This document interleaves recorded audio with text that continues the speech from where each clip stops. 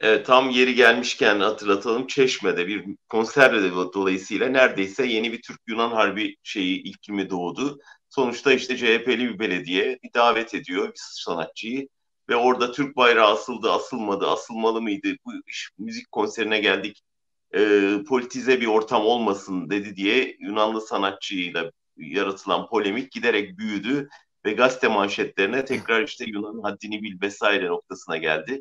Ya bir kıvılcıma bakıyor aslında ve bu milliyetçi ezeyan büyürse bir anda iktidarın peşine takılmaya teşne bir ana muhalefet var. Bu biraz bana 15 Temmuz sonrası o e, oluşturulan Erdoğan eliyle oluşturulan mutabakatı hatırlatıyor. Yeni kapı mutabakatının bir... içindeyiz abi.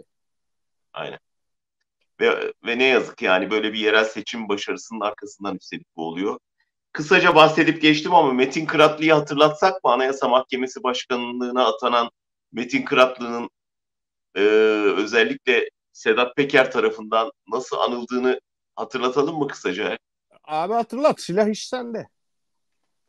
Sadece silah değil galiba. Suriye ile ilgili her ne ticaret yapılırsa Metin e, Kıratlı'dan geçer demişti e, Sedat Peker. Yani hani herhangi bir e, çay alım satımından gidecek kamyonlara hatta silah ve petrole kadar e, sarayda Metin Kıratlı'nın e, olayı olmadan hiç kimse ticaret yapamaz demişti.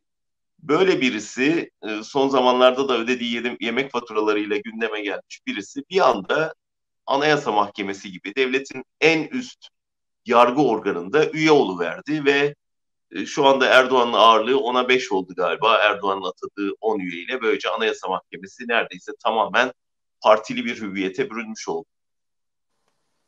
E şimdi bu böyle. Futbol Federasyonu'nda başka bir şey oluyor. Biraz da ülkücülere yakın. E, e, hani e, belli mafyatik e, örgütlenmelere yakın bir oluşum. E, biraz daha Bahçeli'ye yakın bir oluşum. E tabi işte bu o söylediğimiz parsel parsel ama kimle? Yani e, hangi suçların içerisinde olan kişilerle devletin AKP ve MHP tarafından paylaşılmasını görüyoruz. Şunu söylüyordu Sedat Peker yani çok e, açıkça ifade ediyordu. Suriye'de ticaret yapmanız için diyordu. İşte Metin Kıratlı Beyefendi var. Metin Kıratlı Beyefendi'ye gideceksiniz. Cumhurbaşkanlığı İdari İşler e, Danışmanı külliyededir diyordu. Petrol, çay, şeker yani ne varsa alüminyum ama çok büyük bir ticaret için ondan diyordu. E, izin alacaksınız. Milyar dolarlar diyordu. Evet. Milyar dolarlar diyordu ama burada da iki tane aile söylüyordu. Sancak ailesi ve Öztürk ailesi. Yani çemberin e, bir tarafında onlar vardı. En son noktada ilginç bir yere çıkıyordu. E, El Nusra'nın iktisat sorumlusu Ebu Abdurrahman var diyordu en son noktada da. Ve en son e, gümrük merci orasıdır diyordu. Ebu Şima olarak da geçiyor diyordu. Şimdi bu iddialar e, yalanlandı. Ama bu somut iddialar e, somut şeylerle değil. Böyle işte bunlardan konuşmayın bu haberleri kaldırırız. E, bunlar mafyatik e, FETÖ'vari işlerdir filan diyerek yalanlandı. E, sonuç itibariyle toplum bunların yalan olmadığını ikna oldu. Ve burada anlatılan en üstteki kişi e, şimdi Anayasa Mahkemesi'ne üye yapıldı. E ne görüyoruz bir yandan da? Anayasa Mahkemesi ve Yargıtay'ın resleşmesini görüyoruz. Yani Erdoğan bu üyeyle e, Yargıtay'ı yenmeyi düşünüyor filan. Böyle karma karışık bir ortam. Ama e, artık e, herkesin aklının kaçtığı biraz da artık ortada adam filan kalmadı. Yani hiç kadro filan da kalmamış. Bunu görüyoruz. Çünkü hala bize e, Alaaddin Çakıcı'yla bir mesaj veriliyor.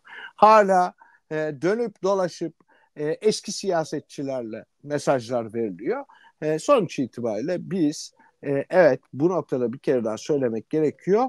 E, ortada bir devlet kalmadığını ve Türkiye'nin bir felaket iklimine sürüklendiğini e, algılayabiliyoruz. Bunun için de sadece fotoğraflara bakmak e, ne yazık ki yetiyor.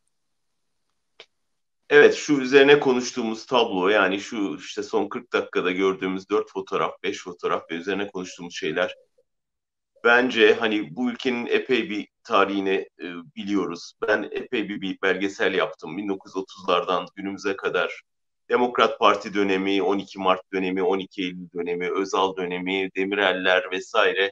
Her dönemde bu ülkede sancılı bir siyaset vardı ama ülkenin herhalde en korkunç dönemini yaşıyoruz. Yani hiç şüphesiz, hiç şüphesiz ülkenin tarihinin en korkunç dönemindeyiz. Ve bununla ya. baş edemezse Türkiye, bunu aşamazsa hakikaten hani ben iki yıl sonrasını, üç yıl sonrasını tahayyül etmekten çekiniyorum ya da dile getirmeye çekiniyorum. Yani gerçekten bu tırmanış sürerse, bu partileşme, bu orduya, polise, yargıya, bürokrasiye, üniversiteye sızan partileşme, parti rozetsiz bir şey yapamama hali sürerse bu ülkeyi çok karanlık bir günler bekliyor. O yüzden hepimizin ısrarla bu konulara dikkat çekmesi lazım. Biz de elimizden geldiğince bunu yapmaya çalışıyoruz. Aynen öyle. Son bir, bir belki bir şey söyleyebilirim. Yani e, hani muhalefet eleştirisiyle bir şey söyleyeyim. El insaf yahu. Yani bir buçuk sene önce işte o uyuşturucu ve kumar baronlarından bir tanesi infaz edildi ve e, az önce senin anlattığın e, Kıbrıs denilen arka bahçede o infaz edilen kişinin Halil Falyan'ın tabutunun üzerine Türk bayrağı ve Kıbrıs bayrağı serildi. Şimdi suçlara ve olgulara buralardan bakmamız e, sosyal demokrat e, olacaksanız da öncelikle bunları sorgulayarak mesajlarınızı vermeniz ya da fiillerinizi ortaya koymanız gerekir.